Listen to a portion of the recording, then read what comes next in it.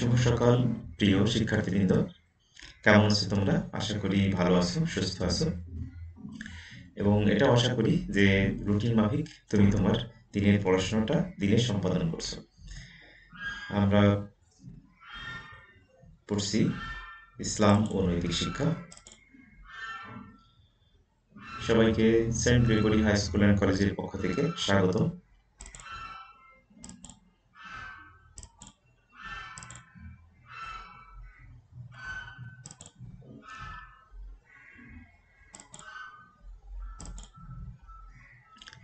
দেখো আমরা পড়ছি ইসলাম ও নৈতিক শিক্ষা, ষষ্ঠ শ্রেণি। ষষ্ঠ শ্রেণি আমি যে পর্যন্ত পড়ছিলাম, তোমাদের একটু মনে করাইতে চেষ্টা করি, আমরা পড়ছি দ্বিতীয় অধ্যায়। সিলেবাসের প্রথম অধ্যায় আমাদের শেষ, এবং পড়ছি দ্বিতীয় অধ্যায়, ইবাদত। ইবাদত চ্যাপ্টারে আমরা কতদিন পড়ছিলাম? পবিত্রতা এবং অপবিত্রতা। আমরা এই বইটা পড়ছি। এখানে পড়ার আগে আমি একটা, পড়া শুরু করার আগে একটা উক্তি লিখে রাখছি। এখানে উক্তিটা একটু পড়ে পড়ি, তোমরা দেখো। যে দেখতে পাচ্ছ না?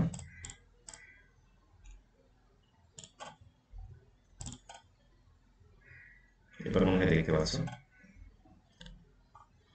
সৌন্দর্য অনেক সস্তা, কিন্তু চরিত্র অনেক মূল্যবান। তাই সৌন্দর্যের প্রতি বেশি আকৃষ্ট না হয়ে চরিত্রের প্রতি বেশি আকৃষ্ট হন। দেখো, এটা লিখে রাখছি কেন? এটা লিখে রাখার একটা কারণ যে আমরা যেন সৌন্দর্য থেকে চরিত্রকে বেশি মূল্য দিতে পারি এবং আমরা নিজেরও চরিত্রবান মানুষ হয়ে গড়ে উঠতে পারি। মূল লক্ষ্য, আমরা সর্বদাই চেষ্টা করব আমাদের চরিত্রকে সুন্দর করার জন্য এবং চরিত্র একবার চলে গেলে সেই চরিত্র আর ফিরে পাওয়া যায় না। মানে চরিত্র একবার নষ্ট হয়ে গেলে আর চরিত্র ফিরে পাওয়া যায় না। এই জন্য আমরা সর্বদাই চেষ্টা করব ভালো মানুষ হওয়ার জন্য, ভালো কিছু করার জন্য এবং সর্বদাই আমরা সালাতের মাধ্যমে নিজেদেরকে পবিত্র রাখার চেষ্টা করব। আমরা যেটা পড়ব আজকে গতদিন পড়ছিলাম পবিত্রতা এবং অপবিত্রতা, আজকে পড়ব অজু। আমরা পবিত্র কীভাবে হব? আল্লাহ কিন্তু শুধু বলে দিচ্ছে না যে এটা করো। কিন্তু যেমন বলেছিলেন পবিত্র থাকতে হবে, পবিত্র হয়ে সালাদ আদায় করতে হবে। পবিত্র কীভাবে হতে হবে? সেই বিষয়টাও কিন্তু এখানে দেখানো হয়েছে। অজুর মাধ্যমে আমরা পবিত্র হতে পারব, সেটা বলছে আর অজু অজু দেখো অজু হচ্ছে আরবি শব্দ আমরা এখান থেকে গতদিনও বলছিলাম যে সুন্দর করে দাগ দিয়ে দাগ দিয়ে আমরা করব এবং খুব সুন্দর করে আমরা এইগুলাই হোমওয়ার্ক করব, যেগুলো আমি দাগাই দিচ্ছি তো অনেকেই খুব সুন্দরভাবে হোমওয়ার্ক করছে, খুবই ভালো লাগছে। আমরা চেষ্টা করব সবাই হোমওয়ার্ক দিতে অজু আরবি শব্দ, এর অর্থ হচ্ছে সুন্দর, পরিষ্কার, স্বচ্ছ ইসলামের শরীরের পরিভাষায়। শরীর পবিত্র করার নিয়মে পবিত্র পানি দিয়ে, পবিত্র পানি দিয়ে কি করতে হবে পবিত্র পানি দিয়ে শরীয়তের নিয়ম অনুযায়ী নির্দিষ্ট অঙ্গ প্রত্যঙ্গ ধৌত নামই হচ্ছে ধৌত করা।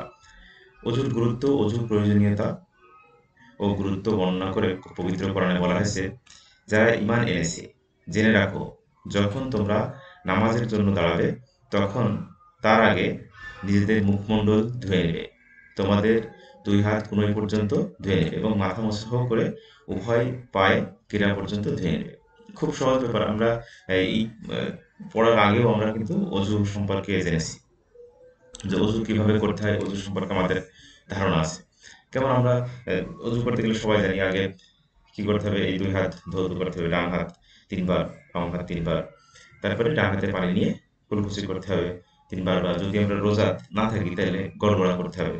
তারপরে নাকে তিনবার পানি দিয়ে ধৌত করতে হবে। তারপরে সমস্ত মুখমণ্ডল সুন্দরভাবে আমরা যে এইভাবে সুন্দরভাবে যেমন মুখমণ্ডলটা ধুয়ে ফেলব। যদি খুব বেশি ঘন দাড়ি থাকে, তাহলে দাড়ির ভিতরে এরকম ক্লানি দিয়ে যেন আমরা এই পানিটা সমস্ত মুখে ধুয়ে নিয়ে, ধুয়ে নেওয়া যায়। তারপরে আমরা কোনোই পর্যন্ত দুই হাতের এই কোনোই পর্যন্ত, এই তারপরে এই কোনোই পর্যন্ত দুই হাতের তিনবার করে ধৌত করব। তারপরে আমরা দেখো আর একটা জিনিস এখানে বলি। মাথা মশাও করতে হলে আমরা এইভাবে তোমার এখানে পানি নিয়ে দুই পানি নিয়ে এইভাবে দিয়ে এই মাথা মশাও করব এইভাবে। তারপরে যে এই সাইড দিয়ে, এই যে এই সাইড দিয়ে আমরা এই সাইড থেকে এই নিয়ে আসব। তারপরে আমরা এই কানের লতি করব। শেষ পর্যন্ত আমরা দুই হাতে, দুই পা কুড়লি পর্যন্ত দিয়ে নেব। এখানে সমস্ত কিছু এখানে ব্যাখ্যা করা আছে, আমি একটু ব্রিফিং করলাম। এবার আসলে আমরা পড়ব আর এটা দেখব তো ভালো করে অজু করলে কি হয়? মন প্রফুল্ল থাকে, শরীর অঙ্গ প্রত্যঙ্গ সতেজ থাকে এবং ইবাদতে একাগ্রতা আসে, ইবাদতে একাগ্রতা আসে। এই প্রসঙ্গে মোহাম্মদ সাল্লাহাম বলছেন যে, আমি কেমতের দিন কি করব? কেমতের দিন আমার উম্মতকে চিনতে পারব। তো কীভাবে চিনতে পারবে? এক সাহাবি তখন প্রশ্ন করছে জৈনব সাহাবি প্রশ্ন করলেন যে, হে আল্লাহ রাসুল, কোটি কোটি মানুষের মধ্যে আপনি কীভাবে আমাদেরকে চিনতে পারবেন? নবী করিম সাল্লাহ সাল্লাম তখন উত্তরে কি বলছে যে অজুর ফলে আমার উন্মতির মুখমণ্ডল এবং হাত পা চকচক করবে চকচক করবে এবং ঝকঝক করবে। তাতেই আমি তার, আমার উন্মতকে চিনতে পারব। বুখারি এবং মুসলিম শরীফে দুই জায়গায় এসেছে।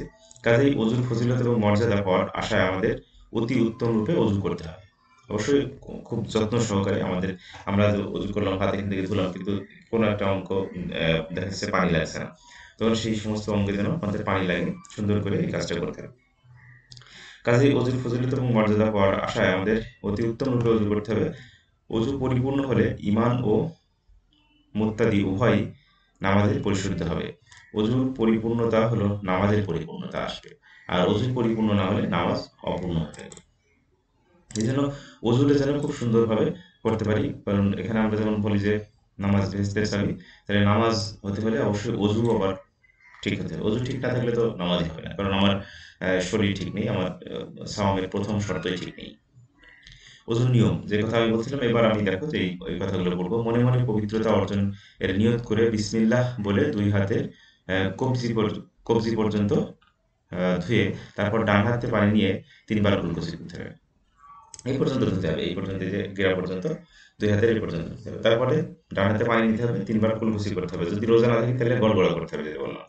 এরপর নাকে পানি দিয়ে তিনবার পরিষ্কার করতে হবে নাক। যেমন নাকে পানি দিয়ে তারপর তিনবার সমস্ত মুখমণ্ডল ধুয়ে নিতে হবে। দ্রুত করে যাতে চুল পরিমাণ স্থানে কোথাও ফাঁকা না থাকে এবং ঘন দাড়ি হলে খিলাল করতে হবে, যেটা বললাম যে এইভাবে খিলাল করতে হবে। তারপরে কি করতে হবে? দুই হাত কোনের পর্যন্ত, এই যে কোনের পর্যন্ত, এই কোনের পর্যন্ত দুই হাত ধৌত করতে হবে, তিনবার করে। এই হাত তিনবার হয়ে গেলে তারপরে এই হাত তিনবার ধৌত করতে হবে।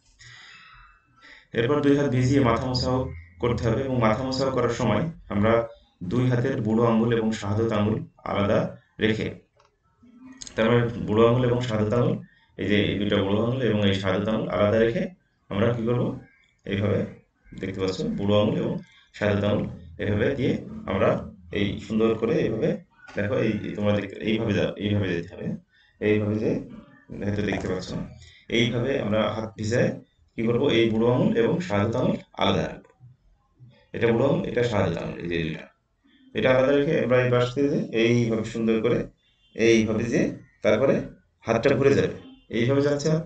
তারপরে হাতটা এরকম ঘুরে যাবে এই সাইড থেকে হাতটা এরকম ঘুরে যাবে ঘুরে যেয়ে এই দিক থেকে আসার পরে আমরা কানের লতি এই যে এই সাইডে কানটা এইভাবে যাবে।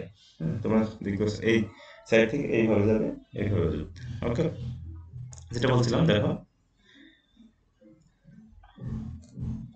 তারপর দুই হাত ভিজিয়ে মাথা মোসাও করতে হবে। মাথা মোসাও করার সময় দুই বুড়ো আঙুল এবং সাদা আঙুল আলাদা রাখতে হবে, যেটা বললাম। তিন আঙুল মিলিয়ে আঙ্গুলিকরণ করে আঙ্গুলিকরণ দিয়ে ভিতরে কানের লতির গোড়া পর্যন্ত যেটা যে আঙ্গুলের কানের আঙ্গুলের ভিতরে আঙ্গুল দিয়ে এইভাবে মোসাফা করতে হবে সাইডে তারপরে পেছনের এক যেটা বলছে যে কল দিয়ে চুলের গোড়া থেকে পেছন দিক দিয়ে মাথার এক চতুর্থাংশ মোসা করতে হবে। তারপর দুই হাতের তালুর পেছন দিয়ে, এই যে এই সাইড এটা তো তালু, এই পেছন দিয়ে যে এই সাইডটা এরকম করে আসছে, এই সাইড এইটির কথা বলছে। পেছন দিয়ে সামনের দিকে টেনে আনতে হবে। এই পেছন থেকে দুই হাতের পেছন দিকে, এইভাবে সামনের দিকে টেনে আনতে হবে। হ্যাঁ? এভাবে চলে যাবে, এভাবে যাওয়ার পরে এইভাবে এসে এই টার্নের দিকে টেনে আনবে। তারপরে আবার এই আঙ্গুলিকরণ করতে হবে এইভাবে, এই সাইডে ওকে, তোমরা অনেকেই জানো এই বিষয়টা, কারণ আমরা নামাজ পড়ি সবাই। তারপর দুই হাতে তালু দিয়ে সামনে মশা করতে হবে। তারপর সাদা আঙ্গুল দিয়ে হাতের আঙ্গুলিগুলো পেছন দিকে ঘাড় মশাও করতে হবে যেটা বললাম, এটা ঘাড় মশাও বলা হচ্ছে। মশাও করার পর দুই টাকলু সহ ভালো করে ধৌত করতে মানে পার গোড়ালি আছে না, ওই পার গোড়ালি গোড়ালি ওই পার গোড়ালি পর্যন্ত ধৌত করতে হবে। অজুর কাজগুলো করার পর, অজুর যে কাজগুলো পর পর করে দিতে হবে। অনেকক্ষণ পর পর করলে হবে না। যেমন হচ্ছে একবার হাত ধুলাম, এক ঘণ্টা পরে আবার এত সেটা তো আসলে অজু হলো না। এক ঘণ্টা পরে মাথা ওজু করল। এটা ওজু হবে না করতে হলে পর পর একটা কাজ সিকোয়েন্স আকারে করে দিতে হবে। একটার পরে একটা একটার পরে একটা করে, শেষ করে তারপরে আমরা নামাজ পড়তে যাব। এটাই এখানে বলছে এই কথা যে পরপর পর করে যেতে হবে। অর্থাৎ এক অঙ্গের পরে অন্য অঙ্গের ধৌত করতে হবে। অনেকক্ষণ থেমে থেমে এই কাজ করলে হবে না।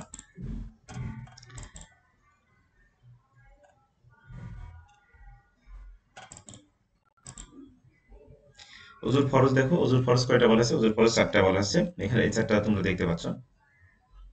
চারটির মধ্যে কোনটি বাদ পড়লে অজু হবে না। তার মানে মুখমণ্ডল একবার ধৌত করতে হবে। এটা অজুর ফরজ মুখমণ্ডল অবশ্যই ধৌত করতে হবে। একবার অবশ্যই ধৌত করতে হবে। এ কথা বলছে, উভয় হাতের কোনোই একবার এই এই পর্যন্ত অবশ্যই কোনোই পর্যন্ত, এখান থেকে এই পর্যন্ত আমাদের অবশ্যই ধৌত করতে হবে। এবং মাথার এক চতুর্থ মশাও করতে হবে, যেটা আমরা যে বললাম যে এইভাবে আমরা এই সাধারণ সহ এই রেখে তারপরে নিয়ে তারপরে উভয় পার গিরা সহ ধৌত করতে হবে, এই চারটা ফরজ এই ফরজগুলো আমরা মনে রাখব এবং সুন্দর করে লিখে ফেলব। অজু ভঙ্গের কারণ আছে, অজু ভঙ্গের কারণগুলো আমাদের জানতে হবে, যে আমাদের অজু আসলে অজু করলে হবে না, অজু যদি ভেঙে যায়, তাহলে অজু ভাঙলে আমরা, আমাদের করণীয়টা কি? অজু ভাঙার, ভেঙে যাচ্ছে, অজু ভাঙার পরে আমরা আবার নতুন করে অজু করা লাগবে। তো কেন অজু ভাঙছে? সেই জিনিসটা আমরা একটু দেখি। প্রসব পায়খানা রাস্তা দিয়ে কিছু বের হলে প্রসব পায়খানা রাস্তা ব্যতীত যদি শরীরের অন্য কোনো অঙ্গ প্রত্যঙ্গ দিয়ে কোনো জিনিস, রক্ত বা পুজ এ জাতীয় বের হয়, থুতু থুতু বা কাশি ব্যতীত বমির সাথে যদি রক্ত, পুজ বা খাদ্য সহ অন্যান্য বমি হয়ে যায়, এই কারণে ওজু ভাঙতে পারে। চিত হয়ে বা কাত হয়ে হঠাৎ করে তুমি নামাজ পড়তে পড়তে ঘুমাই গে কাত হয়ে ঘুমাই গে তাহলে এটা আসলে তোমার সালাদ ভঙ্গ হলেই, সালাদ ভঙ্গ হওয়ার আগে কি ভঙ্গ হলো অজু ভঙ্গ অজু ভঙ্গ হলেই সালাদ ভঙ্গ হয়ে যাচ্ছে। বেহুশ হয়ে গেলে, পাগল হয়ে গেলে, নেশাগ্রস্ত হলে অট্ট হাসি হাসলে মানে খুব জোরে জোরে হাসলে যা এই ঘটনাটা ঘটতে পারে, যে অজু ভেঙে দেবে। শিক্ষার্থীরা অবশ্যই শ্রেণীতে শিক্ষকের নির্দেশে অজু করার উপকরণের মাধ্যমে অথবা প্রতীকী উপকরণের সাহায্যে অজু করার অনুশীলন করতে হবে। এখানে আমরা অবশ্যই অজু করার অনুশীলন করব। আমি জানি আমরা সবাই কিন্তু খুব সুন্দরভাবে অজু করতে পারি, আশা করি। এবং না পারলে আমরা এইটা পড়ার পরে আমরা সবাই অজু করা শিখে গেলাম। এবার অজু করার, দেখো, অজু ভঙ্গের কারণ দেখলাম। তাওয়াম্মুম আল্লাহ আমাদের জন্য দিনকে সহজ করেছেন। এই যে, এই কথা কিন্তু অনেক, অনেকে আমরা শুনি যে, সবসময় ইসলাম ধর্ম খুব সহজ, সুন্দর এবং তোমার শান্তির ধর্ম। এখানে জোর করে কিছু চাপাই দেওয়া হয়নি। তুমি নামাজ পড়ছো, আসলে নামাজটা তোমার নিজের জন্য পড়ছো? তোমার নিজের শান্তির জন্য পড়ছো? আল্লাহকে রাজি খুশি করানোর জন্য, তোমার নিজে ভালো থাকার জন্য। নামাজ পড়লে তো মানুষ ভালো থাকে। ভালো জিনিসটা মানুষ সহজে গ্রহণ করে না। তো যাই হোক, এখন ক্রিটিক্যাল বিষয়গুলো তারা মূল্য দেয়। সেদিকে না যায়। আমরা যেটা বলছিলাম যে নামাজকে আল্লাহ সহজ করেছে এবং যখন একজন অসুস্থ ব্যক্তি পানি শুতে পারবে না পানি দিয়ে উজু করতে পারবে না, তখন কিন্তু আল্লাহ বলছে যে নামাজ পড়তে হবে। কিন্তু পানি না শুয়ে, যদি পানি শুলে তার সমস্যা হয়, তাহলে পানি শোয়ার দরকার নেই। তাহলে আমরা এই এই সিস্টেম যে সিস্টেম উজু করতে হবে, সেই সিস্টেমের নাম হচ্ছে তাওয়াম্মুম। তো তাওয়াম্মুম কি দিয়ে করতে পারে? মাটি দিয়ে করতে পারে একজন, পাথর দিয়ে করতে পারে, বা পবিত্র কোনো বস্তু দিয়ে, সেই জিনিসগুলো বলা আছে এখানে। দেখো, তাওয়াম্মুম তাওয়াম্মুম আরবি শব্দ, এর অর্থ হচ্ছে ইচ্ছা করা। ইসলামের পরিভাষায় পবিত্র মাটি বা ওই জাতীয় বস্তু, পবিত্র বস্তু, যেমন পাথর চুনাবালি যেগুলো আছে ইত্যাদি, এবং তোমার মাটি, এগুলা দিয়ে পবিত্র হওয়ার নিয়মে মুখমণ্ডল ও উভয় হাত কোনোই মশাহ করাকে তাওয়াম্মুম বলে। তাওয়াম্মুম অজু বা গোসল উভয়ের পরিবর্তন করা যায়। তাওয়াম্মুমের মাধ্যমে পবিত্র হওয়া এর অনুমতি উম্মাতে মুহাম্মদ সাল্লামের জন্য আল্লাহ তালার এক জাতীয় বিশেষ অনুগ্রহ। বস্তুত পবিত্রতা অর্জনের প্রকৃত মাধ্যম হলো পানি। আল্লাহ তালা তার বান্দাদেরকে প্রচুর পানি সরবরাহ করেছেন। তথাপি এমন অবস্থার সৃষ্টি এমন অবস্থাও সৃষ্টি করেছেন যে পানি পাওয়া যাচ্ছে না। এমন অবস্থা হতে পারে। অথবা পাওয়া না গেলে তখন কি করতে হবে? যদি পানি পাওয়া না যায় এবং উনি যদি রোগগ্রস্ত থাকে বা প্রাণনাশের আশঙ্কা থাকে, যেটা বলছিলাম, যে পানি শুলে সমস্যা, তখন তাকে পানি শুতে হবে না।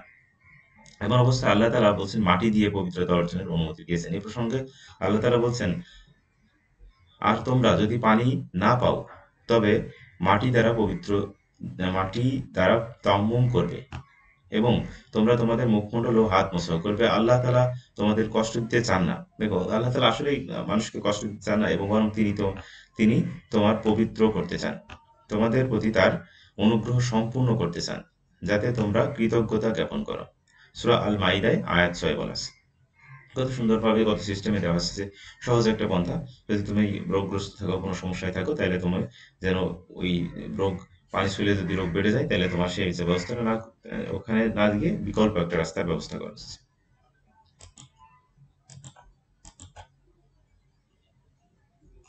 তায়াম্মুমের ফরজ চারটি। তায়াম্মুম করতে হলে কি হতে পবিত্রতা অর্জনের নিয়ত করতে ফার্স্ট টাইম প্রত্যেকটা কাজের আসলে নিয়তটাই বড় জিনিস যে আমি যেই কাজই করব, নিয়ত যদি আমার ভালো থাকে তাহলে আমার সব হবে। এটাই মূল ব্যাপার। এবং পবিত্র মাটি দ্বারা মুখমণ্ডল মোসাহ করতে হবে। মোসাহ করতে হবে। এইভাবে পানি, মাটিটা এইভাবে শুতে হবে। তোমার মনে করো এই, এইটা যদি মাটি হয়, তাহলে দুই হাত দিয়ে আমি এইভাবে মাটি শুয়ে রাখতে হবে। শুয়ে তারপর দুই হাত দিতে দুই হাত দিয়ে এইভাবে শুতে হবে। শুয়ে তারপরে আবার আমার মুখমণ্ডলকে এরকম মোসাহ করতে হবে। উভয় হাত পবিত্র মাটি দিয়ে কোন সহ মোসাহ করতে হবে। তাওমুমের নিয়ম হচ্ছে প্রথমে বিসমিল্লাহ রহমান রহিম বলে পড়তে হবে, তারপরে দুই হাত তালু একটু প্রসারিত করতে হবে। এরকম মানে এই যে তালুটা না, এই তালুটা এরকম প্রসারিত করতে হবে। প্রসারিত করে আমরা যেন ওইটা শুয়ে রাখি, এটা শুয়ে তারপরে আবার আসি। প্রসারিত করে মাটি জাতীয় বস্তু যেমন পাথর সোনাবালি বা ইত্যাদি দ্বারা দুই হাত লাগিয়ে মুখমণ্ডলের মশাও করি, তারপর পুনরায় হাত মাটিতে লাগিয়ে, আবার হাত মাটিতে লাগিয়ে কোন পর্যন্ত মশাও করি। এবার কোনো ঘড়ি বা অন্যান্য কোনো জিনিস থাকলে সেটা সরিয়ে দেখো এখানে পানি দিয়ে যখন করতে হচ্ছে বলছে নাড়াচাড়া করলে একটু পানি লেগে যাচ্ছে। কিন্তু এখানে তো আসলে পানি দিয়ে করা হচ্ছে না এই জন্য ঘড়ি কয়টা যদি থাকে তাহলে সেটা খুলে ফেলতে হবে। খুলে ফেলে তারপরে হাতে তারপরে মশা করতে হবে। তাওমুম ভঙ্গের কারণ, যে কোনো কারণে তাওমুম আছে যে কারণে অজু ভঙ্গ হয়, আমরা যে অজু ভঙ্গের যে কারণগুলো পড়ে আসলাম, ওই কারণগুলোতেই তাওমুম ভঙ্গ হয়। যেসব কারণে গোসল ওয়াজিব হয় ওয়াজিব হয়, সেসব কারণে তাওমুম ভঙ্গ হয়ে যায়। পানি পাওয়ার সাথে অজু যখন আমরা অপবিত্র হয়ে যাই বা আমাদের গোসল প্রয়োজন হবে, তখন সেসব কারণে আবার তাওমুম এটা হতে পারে। পানি পাওয়ার সাথে সাথে তাওমুম ভেঙে যায়। মানে ব্যাপারটা হচ্ছে কি, সে যদি আরোগ্য পেয়ে যায়, ওই ব্যক্তি যদি আরোগ্য পেয়ে যায় ওই রোগ থেকে, তাহলে সে তার তাওমুম ভঙ্গ হয়ে যাবে। কোনো রোগের কারণে তাওমুম করা হলে সে রোগ যদি দূর হয়ে যায়, তাহলে তাওমুম ভেঙে যাবে। তামুম ভঙ্গ হয়ে তাহলে আবার নতুন করে তাকে পানি দিয়ে উজু করতে হবে। শিক্ষার্থীরা প্রত্যেকের শ্রেণীতে শিক্ষকের নির্দেশে তামুম করার পদ্ধতি অনুশীলন করবে। আমরা সবাই তামুম করার অনুশীলন করব। যাই হোক, ভালো থাকো, সুস্থ থাকো এবং সঠিক সুন্দরভাবে হোমওয়ার্কটা ঠিকঠাক করো ক্লাস ঠিকঠাক করো, এতে করে তুমি উপকৃত হবা এবং সবাই যদি আমরা হোমওয়ার্ক ভালো মতো করতে পারি, তাহলে দেখবে আমরা পরীক্ষায় উপকৃত হব। ভালো থাকো, সুস্থ থাকো সবাই। পরবর্তী ক্লাসে দেখা হবে।